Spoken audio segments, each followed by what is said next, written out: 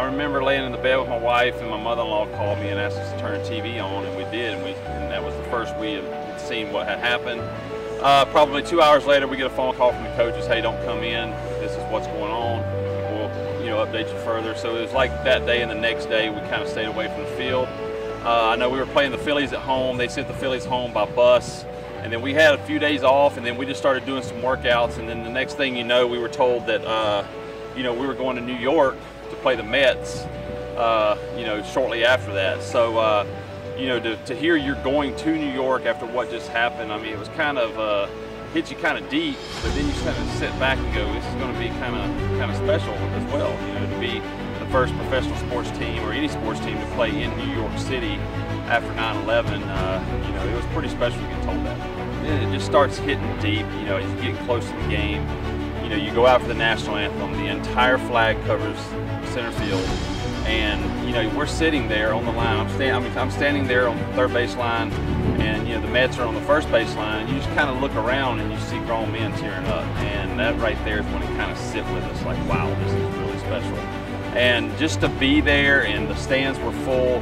You could hear a pin drop during the national anthem, and then to, just to hear everyone cheer after the national anthem was over I mean, those people needed that. And, you know, then of course we had to get ready to play. But just being there for the national anthem just kind of put everything in perspective of what just happened, what we're getting ready to go through with this game, and, you know, how much it meant to not only the players in baseball, but also, you know, the fans in the city of New York.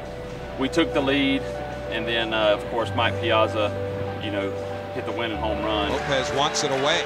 And it's hit deep to left center. Andruw Jones on the run. This one has a chance. Home run!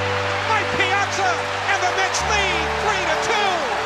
To, to lose the game, you know, you really didn't even think about it. And you know, to kind of put all that perspective, we came in the clubhouse and I was playing with my Bobby Cox was the manager, and you know, he pulled us together and he said, you know, guys, you'll never hear me talk about losing.